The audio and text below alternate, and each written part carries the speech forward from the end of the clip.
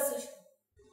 So, in our last two classes, we discussed about what is a computer, what is binary system, and then what is bits and bytes. So, ನಾವು computer ಅಂದ್ರೆ ಏನು binary system ಅಂದ್ರೆ ಏನು ಮತ್ತೆ bits and bites and ಏನು ಇದನ್ನ ತಿಳ್ಕೊಂಡ್ವಿ ಅಲ್ವಾ ನಾನು ಲಾಸ್ಟ್ last ಅಲ್ಲಿ ಹೇಳಿದ್ದೆ ಎ ಅಂದ್ರೆ zero one zero zero zero zero zero one B ಅಂದ್ರೆ zero one zero zero zero zero. One zero so ಈಗ ನೀವು ಕೇಳ್ಬೋದು, ಹೇಗೆ ಏನ್ ಕೋಡ್ ಉಪಯೋಗಿಸ್ಬೇಕು? ಹೀಗೆ ಏನ್ ಕೋಡ್ ಉಪಯೋಗಿಸ್ಬೇಕು? ಇದನ್ನ ಡಿಸೈಡ್ ಮಾಡೋದು ಯಾರು? ಸೊ ಸೊ ಈ ಕೋಡ್ಗಳನ್ನು ಡಿಸೈಡ್ ಮಾಡಕ್ಕೆ ಅಮೆರಿಕಾದಲ್ಲಿ ಒಂದು ಸಂಸ್ಥೆನ ಹುಟ್ಟಾಕಿದ್ರು.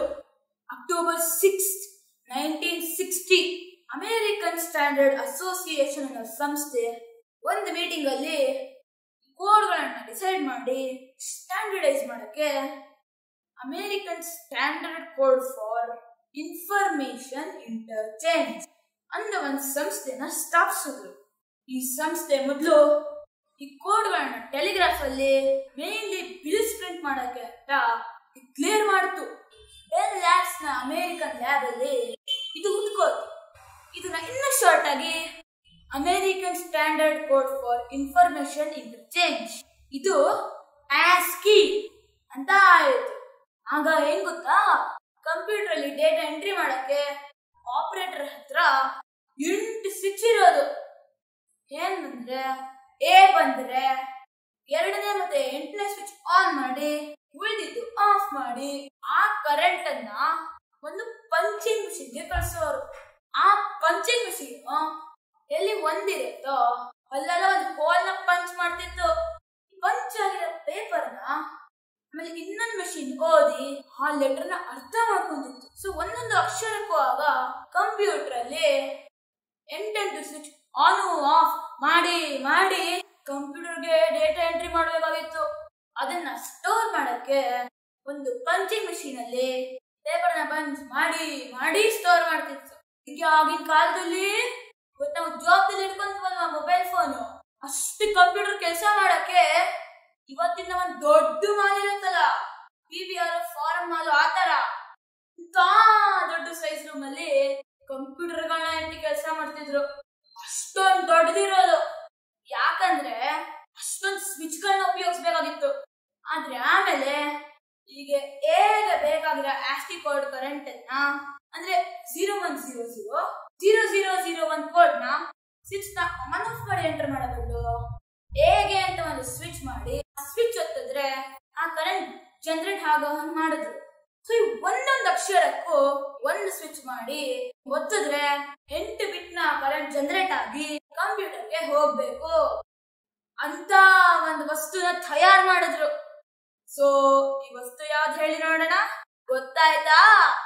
ಎಸ್ ಆ ವಸ್ತು ಯಾವ್ದಂದ್ರೆ ಅದೇ ಇವತ್ತು ನಾವು ಉಪಯೋಗಿಸೋ ಕೀಬೋರ್ಡ್ ಕೀಬೋರ್ಡ್ ಅಂದ್ರೆ ಏನು? ಅದರಲ್ಲಿ ಪ್ರತಿ ಅಕ್ಷರ ಮತ್ತೆ ಪ್ರತಿ ನಂಬರ್ಗೂ ಒಂದು ಸ್ವಿಚ್ ಇರುತ್ತೆ. ಅದನ್ನ ಒತ್ತಿದ್ರೆ ಅದ್ರ ಆಸ್ಕಿ ಕೋಡ್ ಜನರೇಟ್ ಆಗಿ ಅದು ಕಂಪ್ಯೂಟರ್ಗೆ ಕಳಿಸುತ್ತೆ. ಸೊ ಹೀಗೆ ನಮ್ ಕಣ್ಗೆ ಅದು ಎ ಬಿ ಸಿ ಡಿ ಅಂತ ಕಾಣಿಸ್ಬೇಕು. ಆದ್ರೆ ಕಂಪ್ಯೂಟರ್ಗೆ ಅದು ಜೀರೋ ಮತ್ತೆ ಒಂದು ಕೋಡ್ ಆಗಿ ಹೋಗ್ಬೇಕು. ಅದಕ್ಕೆ ನಾವು ಉಪಯೋಗಿಸಂತ ಕೀಬೋರ್ಡ್ ಅಂತ ಡಿವೈಸಸ್ಗೆ ಏನೆಲ್ಲ ಕರಿತೀವಿ ಗೊತ್ತಾ? ಇಂಟರ್ಪ್ರಿಟರ್ ಅಂತ ಕರಿತೀವಿ ಇಂಟರ್ಪ್ರಿಟರ್ ಕೆಲಸ ಏನು ಅಂದ್ರೆ ನಮ್ಗೆ ಅದು ಸ್ವಿಚ್ನ ಎ ಬಿ ಸಿ ಡಿ ಅಂತ ತೋರಿಸುತ್ತೆ. ಆದ್ರೆ ಕಂಪ್ಯೂಟರ್ಗೆ ಇಂಗ್ಲಿಷ್ ಭಾಷೆ ಅರ್ಥ ಆಗಲ್ಲ. ಸೊ ಅದನ್ನ ಬಟನ್ ಒತ್ತಿದಾಗ ಯಾರು ಇಂಗ್ಲಿಷ್ ಭಾಷೆ ಅಕ್ಷರ ಕಂಪ್ಯೂಟರ್ ಅರ್ಥ ಆಗ ಕೋಡ್ ಆಗಿ ಕನ್ವರ್ಟ್ ಮಾಡುತ್ತೆ. ನಾವು ದಿನನಿತ್ಯ ಬಳಸೋ keyboard mouse pen pen tablet ಇರುತ್ತಲ್ಲ ಅದು ಇವೆಲ್ಲದನ್ನ ನಾವು ಇಂಟರ್ಪ್ರಿಟರ್ಸ್ ಅಂತ ಕರೀತೀವಿ ಇದರ ಮೂಲಕ ನಾವು ಕಂಪ್ಯೂಟರ್ಗೆ ಇನ್ಫಾರ್ಮೇಶನ್ ಕೊಡ್ತೀವಿ ಆದ್ರಿಂದ ಅದನ್ನ ನಾವು ಇನ್ಪುಟ್ ಡಿವೈಸಸ್ ಅಂತ ಕರಿತೀವಿ ಇವತ್ತಿನ ದಿನ ಅಕ್ಷರ ಮತ್ತೆ ನಂಬರ್ ಟೈಪ್ ಮಾಡಕ್ಕೆ ಉಪಯೋಗಿಸೋ ಕೀಬೋರ್ಡ್ ಸೌಂಡ್ ರೆಕಾರ್ಡ್ ಮಾಡಕ್ಕೆ ಉಪಯೋಗಿಸೋ ಮೈಕು ಉಚ್ಚಾರಣೆ ಕಂಪ್ಯೂಟರ್ ಅರ್ಥ ಮಾಡೋ ಭಾಷೆಗೆ ಕನ್ವರ್ಟ್ ಮಾಡಕ್ಕೆ ಉಪಯೋಗಿಸೋ ಸ್ಕ್ಯಾನರ್ ಆಮೇಲೆ ವಿಡಿಯೋನ ಕಂಪ್ಯೂಟರ್ಗೆ ಅರ್ಥ ಮಾಡೋ ಭಾಷೆಗೆ ಕನ್ವರ್ಟ್ ಮಾಡಕ್ಕೆ ಉಪಯೋಗಿಸೋ ವೆಬ್ ಕ್ಯಾಮು ಇದನ್ನೆಲ್ಲ ನಾವು ಇನ್ಪುಟ್ ಡಿವೈಸ್ ಅಂತ ಕರಿತೀವಿ. ಎಲ್ಲ ಇನ್ಪುಟ್ ಕೊಟ್ಟು ಕಂಪ್ಯೂಟರ್ಗೆ ಅದಕ್ಕೆ ಏನ್ ಮಾಡ್ಬೇಕು ಅಂತ ಇನ್ಸ್ಟ್ರಕ್ಷನ್ಸ್ ಕೊಟ್ಮೇಲೆ ಕಂಪ್ಯೂಟರ್ ಇನ್ಫಾರ್ಮೇಶನ್ ಪ್ರೋಸೆಸ್ ಮಾಡಿ ಔಟ್ಪುಟ್ ಕೊಡತ್ತೆ. ಬಟ್ ಈ ಔಟ್ಪುಟ್ ಮತ್ತೆ ಒನ್ ಅಂಡ್ ಜೀರೋ ಆಗೇ ಇರುತ್ತೆ. ನಮ್ಗೆ ಅದೇನು ಅಂತ ಅರ್ಥ ಆಗ್ಬೇಕಂದ್ರೆ, ಈ ಕೋಡ್ಗಳು ಮತ್ತೆ ನಾವು ಅರ್ಥ ಮಾಡ್ಕೊಳ್ಳೋ ಭಾಷೆಗೆ ಕನ್ವರ್ಟ್ ಆಗಿ ನಮಗ್ ತೋರಿಸ್ಬೇಕು. ಅದಕ್ಕೆ ನಾವು ಫಾರ್ ಎಕ್ಸಾಂಪಲ್ ಟೈಪ್ ಮಾಡಿರೋ ಅಕ್ಷರಗಳನ್ನ ನೋಡಕ್ಕೆ ಕಂಪ್ಯೂಟರ್ ಮಾನಿಟರ್ ಉಪಯೋಗಿಸ್ತೀವಿ. ಈ ಮಾನಿಟರ್ ಕೀಬೋರ್ಡ್ನ ಉಲ್ಟಾ ಕೆಲಸ ಮಾಡುತ್ತೆ.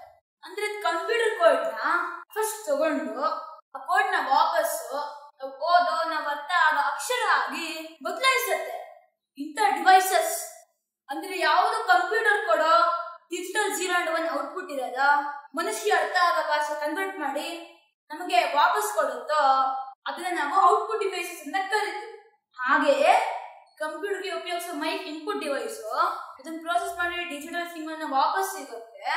ಇವರಿಗೆ ಶಬ್ದ ಆಗಿ ವಾಪಸ್ ಕೊಡೋ ಸ್ಪೀಕರ್ ಔಟ್ಪುಟ್ ಡಿವೈಸ್ ಹಾಗೆ ಪಿಕ್ಚರ್ ತಗೊಂಡ್ರೆ ಸ್ಕ್ಯಾನ್ ಮಾಡೋ ಸ್ಕ್ಯಾನರ್ ಇನ್ಪುಟ್ ಡಿವೈಸ್ ಆದ್ರೆ ನಮಗೆ ತೋರಿಸೋ ಕಂಪ್ಯೂಟರ್ ಮಾನಿಟರ್ ಅದು ಔಟ್ಪುಟ್ ಡಿವೈಸ್ ಸೊ ಇವಾಗ ನಿಮ್ಗೆ ಇನ್ಪುಟ್ ಮತ್ತೆ ಔಟ್ಪುಟ್ ಡಿವೈಸಸ್ ಅಂದ್ರೆ ಏನು ಅಂತ ಅರ್ಥ ಆಗಿರ್ಬೇಕು.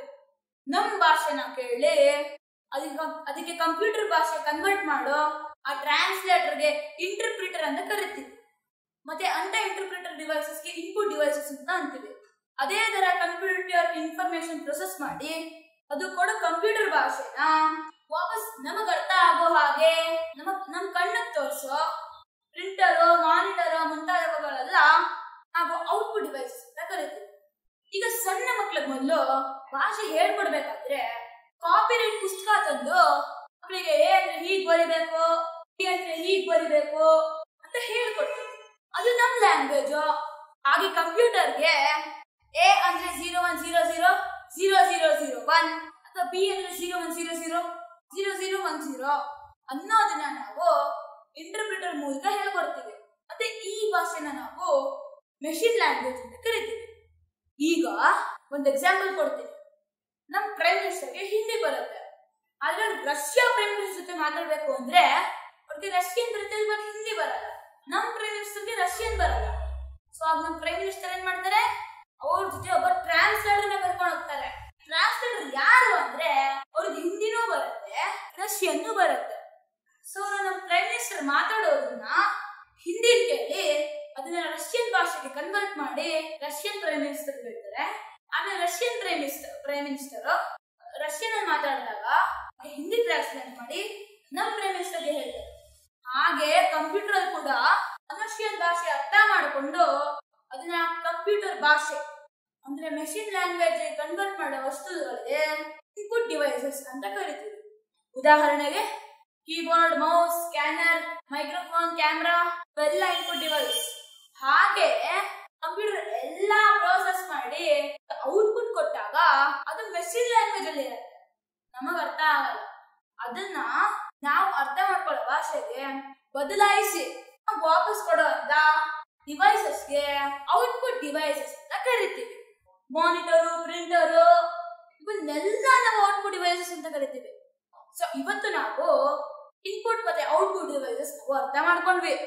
ನೆಕ್ಸ್ಟ್ ಕ್ಲಾಸ್ ಅಲ್ಲಿ ಎರಡರ ಮಧ್ಯೆ ಇದೆಲ್ಲ ಮುಖ್ಯವಾದದ್ದು. ಸಿಪಿಯು ಅದನ್ನ ಅರ್ಥ ಮಾಡ್ಕೊಳ್ಳೋಣ.